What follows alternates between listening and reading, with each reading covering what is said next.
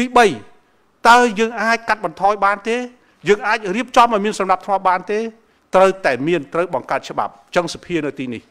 ត្រូវព្រៀងច្បាប់ restaurant សាលារៀនសាកលវិទ្យាល័យ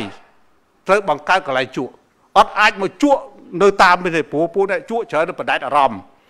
បាទគាត់ជក់តាមផ្លូវជក់អីប៉ុន្តែសម្រាប់អ្នកជក់វាអត់ប៉ះពាល់សម្រាប់អ្នកអត់ជក់ចេញមកគឺចង់ផ្ដាសាយមកបាទ ចង់ក្អួតចង់អីមកចំថ្ងៃមុនអាចចង់ប្រើអំពើហិង្សាជនជាតិកូរ៉េមួយគាត់ជក់បរិយហើយគាត់ធ្វើផ្លុំមកដាក់យើងខ្ញុំថាខ្ញុំអត់ចេះជក់ទេគាត់ផ្លុំទៀតចង់ទៅដកចេញបាទអឺរ៉ុបអត់បានទេណាគេប្រាប់យើងហើយតែយើងនៅបន្តទៀតគេដកពីមាត់គេជន់នឹងមុខយើងឆ្លីបរិយនឹងមុខយើងបាទអញ្ចឹងយើងត្រូវមានកន្លែងជក់បរិយបន្ទប់ទឹកក៏អាចអត់អាចជក់បានដែរត្រូវបង្កើតកន្លែងជក់បរិយ បាទប៉ុន្តែបើប្រៀបធៀបយើងនឹងស្រុកគេយើងតិចណាស់យើងតិចណាស់នឹងហ្នឹងបង្កើតកន្លែងជក់បរិយទី2ដើម្បីកាត់បន្ថយនៃការជក់យើងចាប់ផ្ដើមឲ្យតម្លៃអ្នកជក់នឹងកាន់តែទាបពេលដែលឯងជក់មុនមកនិយាយឲ្យខ្ញុំដុសថ្មិញសិនបាទលាងមាត់សិនខ្ពុលមាត់ឲ្យស្រួលសិនសុំមកនិយាយជាមួយខ្ញុំអញ្ចឹងអ្នកនឹងរៀបចំអញ្ចឹងគាត់ចាប់ដើមអៀនខ្លួនណាបាទចាប់ដើមអៀនខ្លួនទី3ពេលជក់ខុសពីសណ្ដាប់ធ្នាប់ត្រូវពិន័យ បាទទី3ត្រូវពិន័យ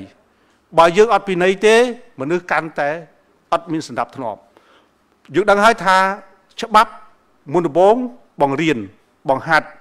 ពន្យល់ចប់3នឹងត្រូវតែពិន័យបើមិនពិន័យទេមនុស្សអត់ស្ដាប់ទេអត់ស្ដាប់ទេ បាទអញ្ចឹងយើងត្រូវតែរៀបចំពិន័យតែពិន័យកម្រិតណាពិន័យទី1យើងមានកាតរបស់គាត់ទី2ទី3ទី4 ចាប់ឲ្យគាត់នៅក្រៅសង្គមបាទន័យថាឲ្យគាត់ទៅនៅកន្លែងមួយដាច់ដោយឡែកពីគេធ្វើអញ្ចឹងទៅគាត់ចាប់ផ្ដើមមានវិន័យមានវិន័យអឺយើងគិតមើលប្រជាជនចិនគ្មានអ្នកណាជក់ចិនច្រើនជាងចិនជាងវៀតណាមទេប៉ុន្តែគាត់មកអត់ស្ដាប់ធ្នាប់ទៅនៅតាមស្រុកបរទេសនៅស្រុកគាត់អត់មានមកជក់អីតាមផ្លូវឃើញចិនឈរជក់តាមផ្លូវគឺគាត់ជក់នៅម្ដុំកន្លែងណាមួយកូរ៉េក៏ដូចគ្នាដែរគេមានបន្ទប់ទឹកបាទជក់ហើយកុំឲ្យបោះបោះកតុយបរិយទៅផាកប្រមាណ អាហ្នឹងយើងចាប់ដើមមានវិន័យមានច្បាប់ហើយយកច្បាប់មកអនុវត្តកុំឲ្យច្បាប់នៅលើกระดาษសូមឲ្យច្បាប់យកមកអនុវត្តអាហ្នឹងខ្ញុំគ្រាន់តែការគិតការគិតទេ ហើយចំណុចមួយទៀតដែលយើងត្រូវពិចារណាទាំងអស់គ្នាជាចំណុចដែលបានដាក់នៅលើផ្ទាំងនេះ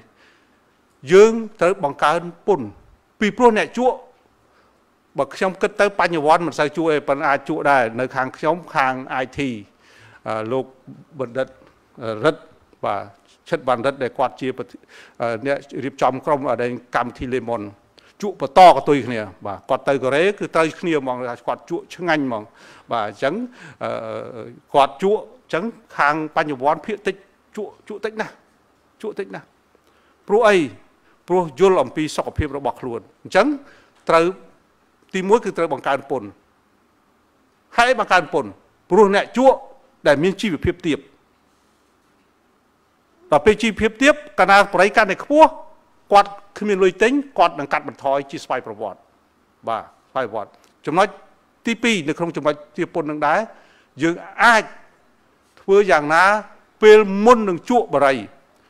គូរូបអាភិក៏មានឲ្យសោះគឺអារូបពីនៃរូបខូចសួតខូចបេះដូងខូចអីដាក់នៅលើកញ្ចប់បរិយបាទដាក់នៅកន្លែងលក់បរិយឲ្យគាត់ឲ្យឃើញមានអារម្មណ៍ថា អញកំពុងតែដុតខ្លួនឯងហើយបាទកុំឲ្យអាដេញទៅដល់ស្វាគមន៍ឯណាខ្ញុំឃើញដាក់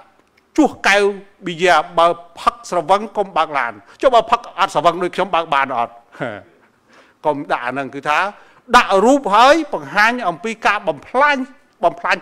5ទី1បំផ្លាញសុខភាពខ្លួនឯងទី2បំផ្លាញសង្គមគ្រួសារទី3បំផ្លាញប្រទេសជាតិទី4 ពេលយើងស្លាប់ទៅធ្វើឲ្យកំព្រាកូនកំព្រាប្តីកំព្រាប្រពន្ធ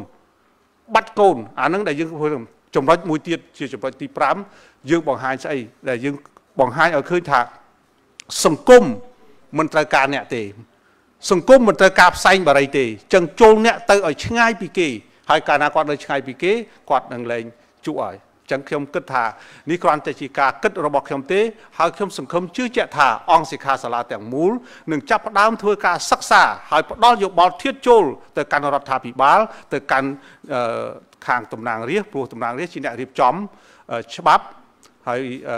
រដ្ឋាភិបាលជាអ្នកអនុវត្តរដ្ឋាភិបាលក៏មានទួនាទីជាអ្នកស្នើច្បាប់យកទៅអនុម័តនៅក្នុងសភាដែរដូច្នេះអង្គវេទិកាថ្ងៃនេះគឺបើកចំហដើម្បីរកធៀបចូល ដើម្បីរុញចូលទៅកាន់អ្នកសិក្សាស្រាវជ្រាវអ្នកមានគេហៅថាវិជ្ជាជីវៈដូចជាពេទ្យដូចជាខាងនេះហ្នឹងគឺបកគលទៅឲ្យខាងណាទៅខាងពុនដាទៅខាង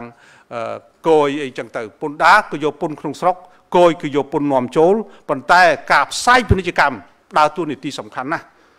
បាទរឿងល្អធ្វើមកអាយុអត់បានប្រយោជន៍ទេ តែបើរឿងអាក្រក់លឿនណាស់លឿនណាស់ដូច្នេះ គួរតែយើងកាត់បន្ថយអាអីដែលវាជានេះដូចឧទាហរណ៍គេអត់ដែលផ្សាយទេពាណិជ្ជកម្មគ្រឿងស្រវឹងក៏ដោយគ្រឿងបរិយក៏ដោយគេអត់ដែលផ្សាយទេចម្លែកស្រុកយើងចូលចិត្តផ្សាយអាហ្នឹងបាទមិនមកពីអីមកពីរកចំណូលអាហ្នឹងបានច្រើន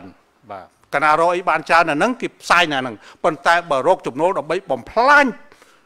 ធនធានមនុស្ស យើងគួរតែកុំអីស្រុកមួយរីកចម្រើនមិនមែនធនធានធម្មជាតិទេស្រុករីកស្រុកមួយរីកចម្រើនមិនមែនប្រជាជនច្រើនទេស្រុកមួយរីកចម្រើនមិនមែនដោយកើតចេញមកអំពីការដែលយើងខំជក់បរិយទេស្រុកយើងរីកចម្រើនគឺដោយសារធនធានមនុស្សមានធនធានមនុស្សគឺមានអ្វីអ្វីទាំងអស់ធនធានមនុស្សដើរតួនាទីសំខាន់ណាស់តើបើយើងកំទេចធនធានមនុស្សហើយតើយើងមានស្អីជាការកសាងប្រទេសជាតិជាក់ស្ដែងក្នុងប្រវត្តិសាស្ត្ររបស់ខ្មែរ3ចំណុចទី1គឺខ្មែរ ហែកគ្នាហែកសង្គ្រាមធ្វើឲ្យអ្នកចេះរត់ចេញអស់ទី2របបកម្ពុជាប្រជាធិបតេយ្យសម្លាប់បញ្ញវន្តចោលគ្មានសល់អីពេលចូលមកវិញ79យើងចាប់ផ្ដើមកសាងបញ្ញវន្តទម្រាំកសាងបានរយៈពេលប្រមាណ